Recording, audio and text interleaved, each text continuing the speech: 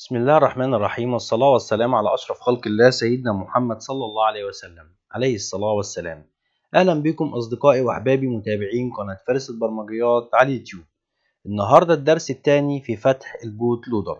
شرحنا الدرس اللي فات والدرس اللي فات كان نظري لكن مهم جدا جدا. لازم تطلع عليه وتسمعه مرة واثنين وثلاثة بعناية وتكتب الملحوظات اللي فيه.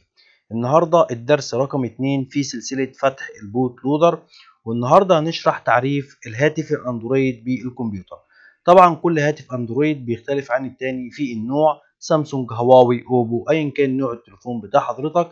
علشان تشبكه أو توصله بالكمبيوتر بتاعك مش هيقرأ معاك إلا لما يكون في تعريف على الكمبيوتر.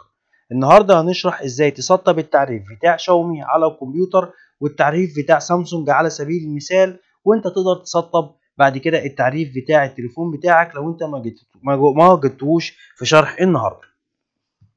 النهارده دوت زي ما أنتم شايفين ويندوز 7 إزاي نسطب التعريف بتاع ال USB بتاع هاتف شاومي؟ عليه وهشرح لكم بردك ويندوز 10 في نفس الحلقة. تمام كده؟ زي ما أنتم شايفين دوت الملف بتاع التعريفات. هتجده أسفل الفيديو اللي تشاهده الآن. دوت التعريف الخاص بويندوز 10 ودوت التعريف الخاص بويندوز 7 و8 ودوت حل لمشاكل التعريفات. هنعرف إزاي مع بعض نسطب التعريفات. هنروح على My Computer نضغط click يمين ونختار Properties اللي هي الخصائص وبعد كده هنختار الاختيار الأول اللي هو Device Manager اللي هو الخاص بالتعريفات بتاعة الويندوز ونقفل الصفحة ديت مش عايزينها تاني.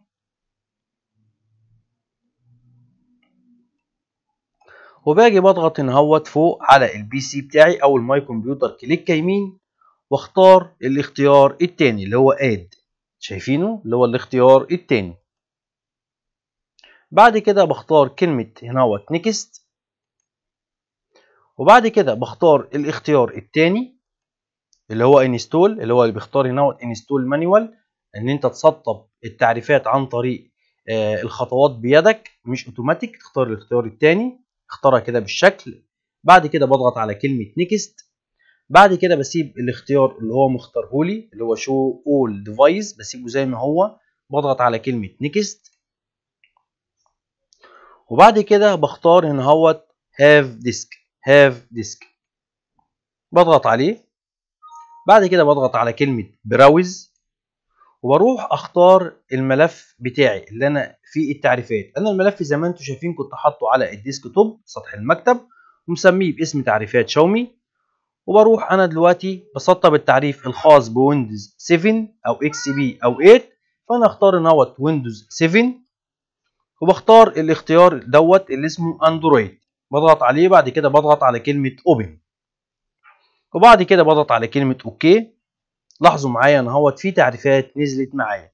بضغط على الاختيار الأول وبعد كده اختيار كلمة Next بعد كده بضغط على كلمة Next طريقة التسطيب العادية بتاعة التعريفات لكن انت عندك التعريف بتاع شاومي فانت بتجلبه بالطريقة ديت واضغط هنا على كلمة Finish وبعد كده بروح أضغط تاني على ال PC واختار Add نفس الاختيارات اللي إحنا اخترناها وأقول له Next واختار هنا install اللي هو ال manual واقول له Next Next have device Have Disk أقول له Browse أروح. طبعا اختار أنا في ويندوز 7 خلاص اوتوماتيك بختار الاختيار دوت. وبعد كده بقول له OK وبعد كده بختار الاختيار التاني واقول له next next بعد كده بقول له finish يبقى كده التعريفات بتاعه التليفون بتاعتي نزلت. لو ما قراش معاك ممكن تسطب التعريف الثالث آسف. أنا بدل ما أضغط على الاختيار التاني اخترت على كلمة scan لا هتضغط هنا هو التاني أقول له add نفس الخطوات هي هي ما غيرناش فيها أي حاجة لكن كل مرة بنختار الملف التالي. زي ما أنتم شايفين كده أهوت.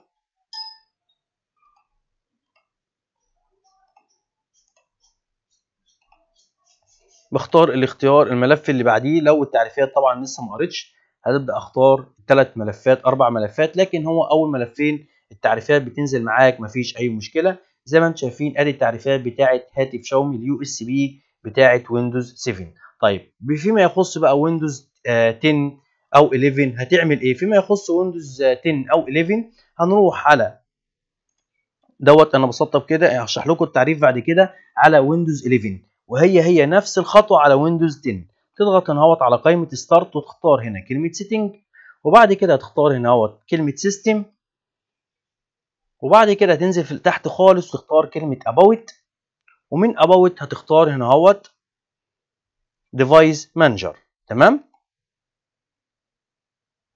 هضغط عليها تفتح معايا. زي ما أنتم شايفين فتح معايا التعريفات هقفل دوت خلاص أنا مش عايزه.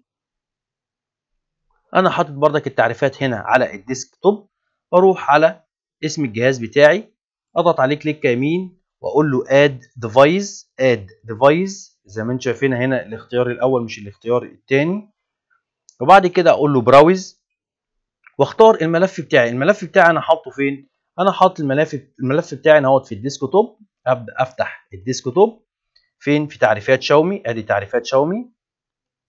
هفتح هنا كلمة تعريفات شاومي كده زي ما أنتم شايفين. زي ما أنتم شايفين مكتوب ويندوز 10 ويندوز 10 أنا عندي ويندوز 11 بس 11 و10 عادي بيقرا عليه التعريف واحد.